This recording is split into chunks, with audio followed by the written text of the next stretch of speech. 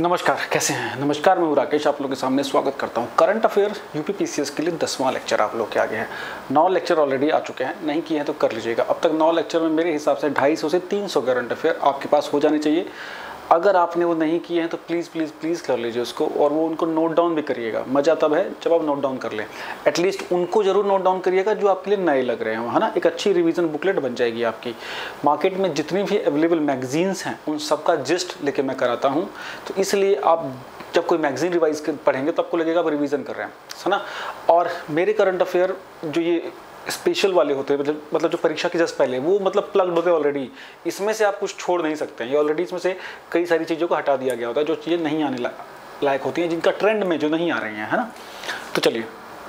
कुछ important current affairs और और तेज़ी के साथ। हमारा करंट अफेयर थोड़ा डिफरेंट होता है। डिस्कशन के साथ हम लोग फटाफट फटाफट आगे चलते हैं। जो करंट अफेयर जितना समय देने लायक होता है, उतना ही दिया जाता है है ना?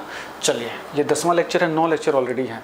हैं उसकी जो प्लेलिस्ट है प्लेलिस्ट के मामले में मैं बहुत आलसी हूँ। प्लेलिस्ट को अपडेट अभी मैं कर दूँगा। दस के दस करंट अफेयर आपको मिल जाएँगे। और लाइव अगर आप लोग मुझे प्लीज़ बताइएगा कि करंट अफेयर लाइव लेना है कि कैसे लेना है? लाइव में थोड़े ज़्यादा करंट अफेयर हो जाएँगे, लेकिन एक टाइमिंग मुझे बताइएगा। एक नौ से साढ़े नौ के बीच में अगर टाइमिंग्स ठीक रहेगी तो मुझे बताइएगा, हम लाइव भी ले सकते हैं। ठीक, चलिए। पहला क्वेश्चन आप लोग के सामने दिख रहा है। सीपरी की रिपोर्ट पेपर में क्वेश्चन आता है गारंटी से आएगा। हर साल यूपी पीसीएस का बहुत फेवरेट टॉपिक है ये।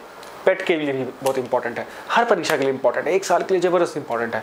सीपरी का मतलब क्या है? सीपरी एक बहुत अंतर्राष्ट्रीय प्रतिष्ठित संस्था है। Stockholm Sweden Stockholm international peace research institute की एक संस्था है जो कि कार्य करती है विश्व में हथियारों की होड़ खत्म हो और ये सब बड़ी बड़ी बातें, है ना? लेकिन होता कुछ भी नहीं है। इसी के साथ वो एक लिस्ट निकालती है जो बता, एक एक एक रिपोर्ट जारी करती है जिसमें बताया जाता है कि किस देश ने कितना एक्सपोर्ट किया आर्म्स को कितना इंपोर्ट किया कि दुनिया में क्या कुछ चल रहा है। हमको मेन चीज़ें पढ़नी है स्टॉक इसके ऊपर मैंने पूरा एक दो current affair in two minute में पाँच मिनट का अलग से लेक्चर बनाया। वो ज़रूर देखिएगा थोड़ी कोशिश करके। यहाँ मेन क्वेश्चन क्या आएगा कि सबसे ज़्यादा हथियारों का आयोतक कौन हो गया है? इम्पोर्टर कौन है? सबसे ज़्यादा इस समय हथियारों का इस वर्ष इंडिया है, भैया इंडिया ने रिप्लेस कर दिया सऊदी अरबिया को। सऊदी अरब दूसरे नंबर पे है जो हथियार खरीदता है। भारत दुनिया में पहले नंबर पे है जो हथियार खरीदता है। बाप रे, ठीक? बिकॉज़ हमारे पड़ोसी ऐसे हैं। अब दुनिया, ये थोड़ी सी डेटा याद रख लीजिए। दुनिया में सबसे ज़्यादा एक्सपोर्ट करता कौन है? यूएसए है ना? सबसे बड़ा एक्सपोर्टर कौन है? यूएसए ठीक है इन चीज़ों को प्लीज़ ध्यान दीजिएगा। इंडिया एक्सपोर्ट में तीस तेईसवें नंबर पे आ गया बिकॉज़ इंडिया भी अपनी कुछ कुछ मिसाइलें यहाँ वहाँ बेच रहा है जैसे फिलीपींस वगैरह हो गया है ना? इन, इनके साथ हमारे सम, आ, हुए हैं समझौते ब्रह्मोस मिसाइल को लेके फिर वियतनाम भी एक ऐसा देश है है ना? तो अच्छा है। हम लोगों ने मा, मालदीव्स को भी वॉरशिप दिया है। तो ये थोड़ा सा शॉर्ट में ये रिपोर्ट ध्यान रखिएगा पेपर में पूछेगा इससे ठीक है जी? नेक्स्ट क्वेश्चन है महात्मा गांधी राइटिंग बेकार है Mahatma Gandhi green triangle park Mahatma Gandhi Mahatma Gandhi की जब विदेशों में कोई एक्टिविटी होती है तो वो परीक्षा में इंपॉर्टेंट हो जाते हैं। तो मेडागास्कर जो देखेंगे ना अफ्रीकी महाद्वीप उसके बगल में इतना बड़ा सा टापू है, वो है मेडागास्कर और वहाँ पे भारतीय दूतावास में Mahatma Gandhi green triangle park की स्थापना की गई है तो परीक्षा के लिहाज से हमारे लिए इंपॉर्टेंट हो जाता है। ठीक नेक्स्ट नेक्स्ट क्वेश्चन क्या बोल रहे हैं? यूएई फंस गया एफ़ ए में। एफ़ क्या है बच्चे? फाइनेंशियल एक्शन टास्क फोर्स ठीक है?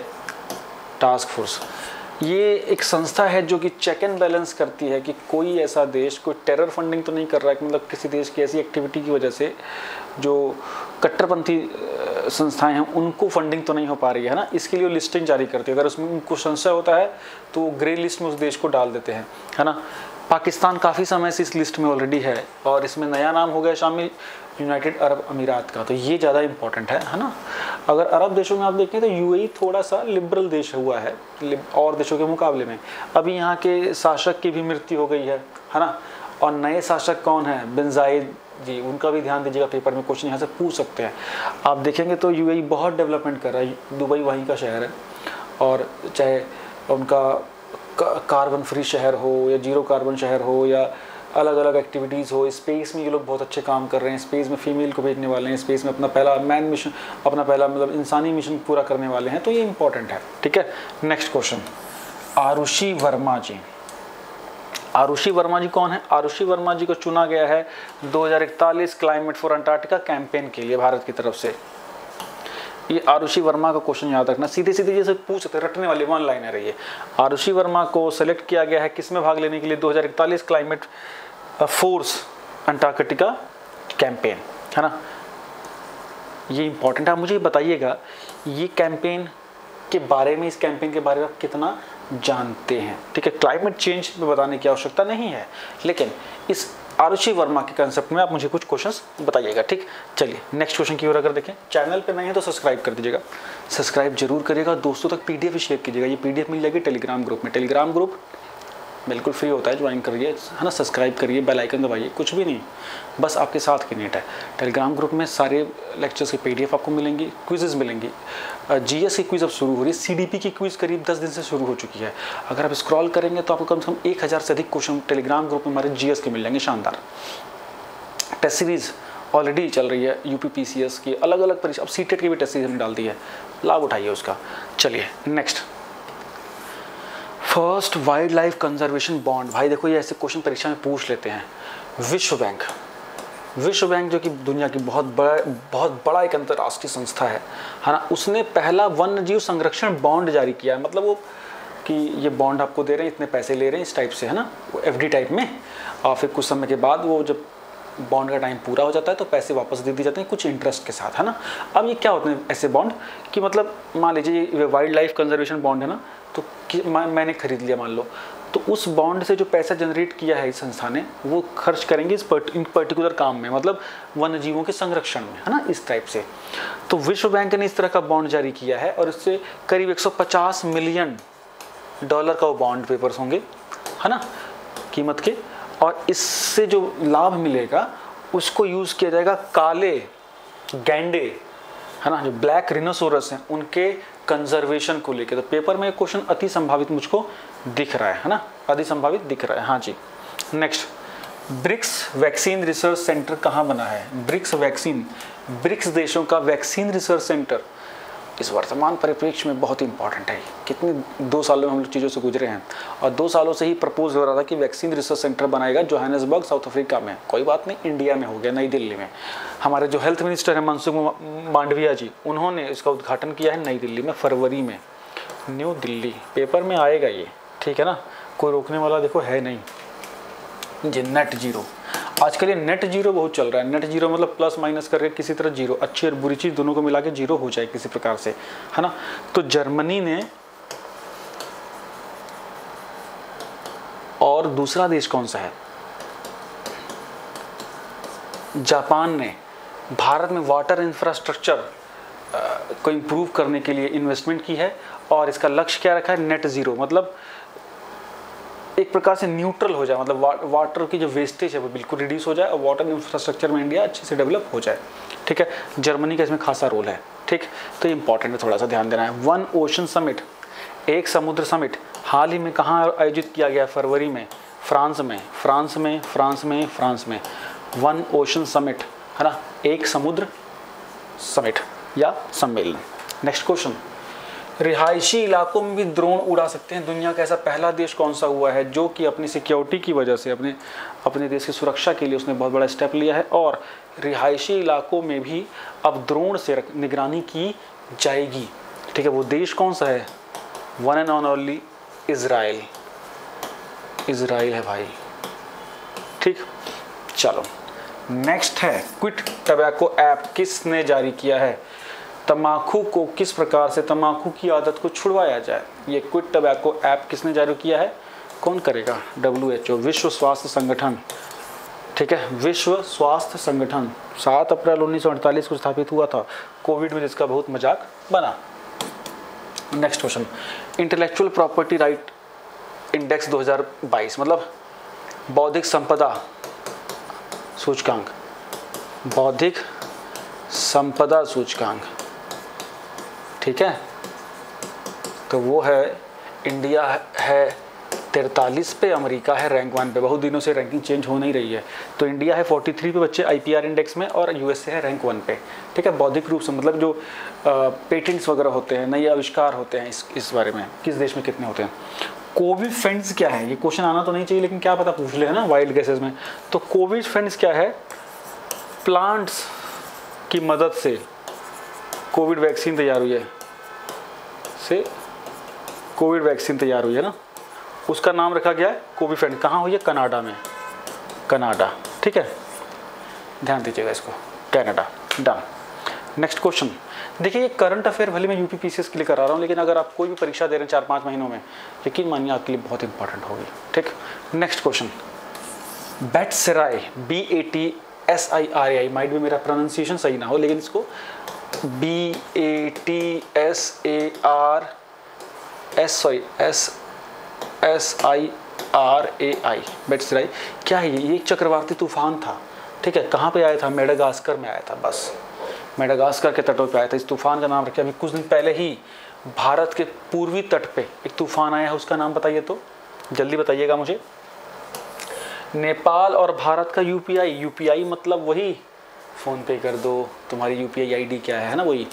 यूनिफाइड पेमेंट इंटरफेस भारत ने दुनिया में सबसे ज़्यादा इसमें ट्रांजेक्शन हो रहे हैं भारत के अंतर्गत यूपीआई के द्वारा। सबको पीछे छोड़ दिया हमने ठोंक दिया है है ना? आने वाले टाइम में ये एटीएम को रिप्लेस कर देंगे।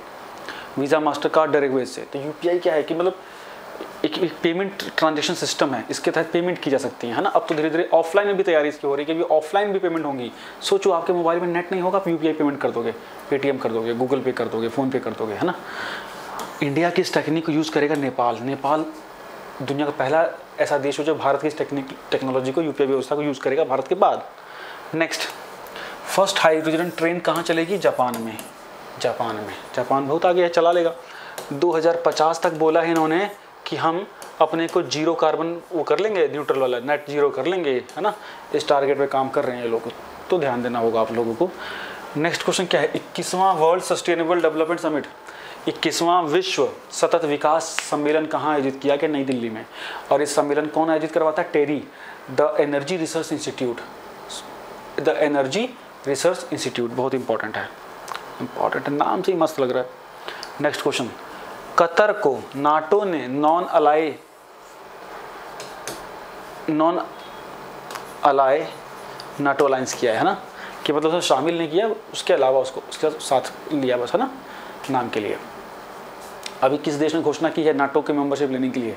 रशिया ने उसको धमकी भी दी है। रशिया ने आज मैरियोपोल भी जीत लिया है। युद्ध अब निर्णायक मोड़ की ओर जा रहा है और कुछ ही दिनों में आप देखेंगे कि युद्ध समाप्त होगा। बिकॉज़ रशिया ने ऊपर से लेकर नीचे तक, है ना, पूरा रास्ता बना लिया काला सागर तक पहुँचने का और इसी के साथ यूक्रेन मुझे लगता है कि टुकड़ों में बटेगा। ठीक है? तो ध्यान दीजिएगा, नाटो से रिलेटेड कई क्वेश्चन आ सकते हैं। कोल्ड रिस्पॉन्स क्या है? कोल्ड रिस्पॉन्स जब यहीं लिखा तो। नाटो का युद्ध अभ्यास ठीक है? ध्यान देना है आपको। नाटो का एक युद्ध अभ्यास था कोल्ड रिस्पॉन्स ठीक? ध्यान देना आपको। ये कहाँ हुआ, ये मुझे बताइएगा। यूरोप में हुआ ना? जी हाँ बताइए कहाँ। ये गोज टी ये क्या है? गोज टी नासा का सैटेलाइट है। जी हाँ नासा का ये एक मिनट। थोड़ा सा मुझे पानी ले लेने दिए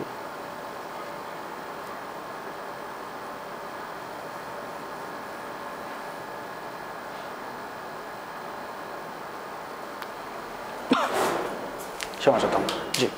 ठीक है, नासा का एक सेटेलाइट है। जो कि किस लिए यूज़ किया जा रहा है कि स्पेशल कार्य के लिए यूज़ किया जा रहा है, वो मुझे बताइएगा। देखिए इंटरेक्शन का मज़ा तब आता है जब आप उसके लिए एफर्ट करते हैं, है ना? इसके आंसर हम इजीली बता सकते हैं, लेकिन आपको थोड़ा सा इंटरेक्शन इससे हमारा बढ़ेगा। यही इंटरेक्शन चाहता हूँ लाइव क्लासेज में। तो कि मज़ा आए, है ना?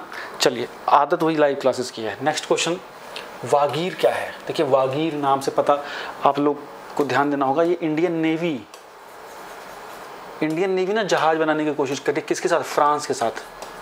फ्रांस के साथ मिल के तो इन्होंने एक प्रोजेक्ट बनाया, प्रोजेक्ट पिछहत्तर। इस प्रोजेक्ट के तहत छः स्कॉर्पियन क्लास की अलग अलग श्रेणी की वो होती हैं युद्ध वेसल, है ना? जहाज़ होते हैं, लड़ाकू जहाज़, पानी वाले। तो छः बनेंगे स्कॉर्पियन श्रेणी के आपके ये वेसल, युद्धपोत। है ना? इसमें जो पहला है, इसका ट्रायल हुआ है वागीर है उसका नाम। क्या नाम है? वागीर। एक पंडुबी एक पंडुब्बी है, सॉरी एक युद्धपोत है। इंडियन नेवी और फ्रांस की मदद से जो तैयार हो रहा है। प्रोजेक्ट 75 के अंतर्गत, है ना?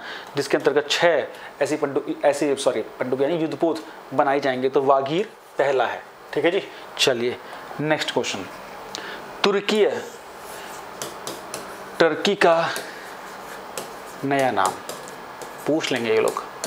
इनकी ऐसी तैसी हो रही है इस टाइम पे, छियासठ से सत्तर परसेंट की इन्फ्लेशन है। खैर, ऐसी तैसी तो हम लोगों की भी हो रही है इन्फ्लेशन से, ठीक है? चलिए तो तुर्की का नया नाम तुर्की। चलो नेक्स्ट क्वेश्चन फ्रेंच मिलिट्री हाँ नौ सालों के बाद फ्रांस ने अफ्रीका के एक देश से, फ्रांस ने अफ्रीका के एक देश से अपनी सेना वापस बुला ली है, शांति सेना। वो कौन सा देश है? माले। ठीक है भाई, बहुत ही गरीब देश है, बहुत ही गरीबों में से गरीब देश है भैया ठीक है मतलब बहुत ही और असुरक्षित और पॉलिटिकली अनस्टेबल देश है। ठीक? नेक्स्ट क्वेश्चन दावो समिट होता है वो ना सर्दियों में वर्ल्ड इकोनॉमिक फोरम विश्व आर्थिक मंच के द्वारा होता है, जो सब बड़े बड़े कोर्ट और बड़े, बढ़िया जगह स्विट्जरलैंड में जाके दावोस में बैठते हैं लोग, है ना? और वो वहाँ समिट हुआ, हर साल होता है। अर्थव्यवस्था से जुड़ा हुआ लोग आके अपने व्यूज़ देते हैं। इस बार की थीम क्या थी? स्टेट ऑफ़ वर्ल्ड विश्व की स्थिति. स्टेट ऑफ़ वर्ल्ड ठीक है? ये क्वेश्चन आ रहा है पेपर में काली मंतान काली मंतान कहाँ है? बोर्नियो आइलैंड पे, मैंने पहले भी कराया था। बोर्नियो आइलैंड जो तीन देशों के बीच में बटा हुआ है, इंडोनेशिया का भी हक है। तो कालीमंतान की सुनसान जगहों पे अब राजधानी को कर दिया गया है शिफ्ट। तो कालीमंतान जो है वो इंडोनेशिया की नई राजधानी बनेगी, ठीक है, जो कि बोर्नियो आइलैंड पे है। इसी के साथ आज की करंट की सेवाएँ समाप्त होती हैं। अगले लेक्चर में हम लोग जल्दी मिलेंगे। करंट की फ्रिक्वेंसी ज़्यादा होगी, है ना? UP test series, UP PCS की टेस्ट सीरीज़ ज़रूर आजमाइए। शानदार बाईस से पच्चीस सौ क्वेश्चन आपका इंतज़ार कर रहे हैं। इसके साथ साथ इन करंट अफेयर्स को अच्छे से करिए। इसके अलावा जो मैं यूपी पीसीएस के लिए लेक्चर ले रहा हूँ प्लीज़ उनको अच्छे से करिए। बहुत लिमिटेड लेक्चर आते हैं ना, बहुत ज़्यादा बोर नहीं करूँगा आपको, लेकिन हाँ शानदार क्वेश्चन है। तो उम्मीद करता हूँ लेक्चर आपको अच्छा लगा होगा। Thank you thank you so much bye bye thank you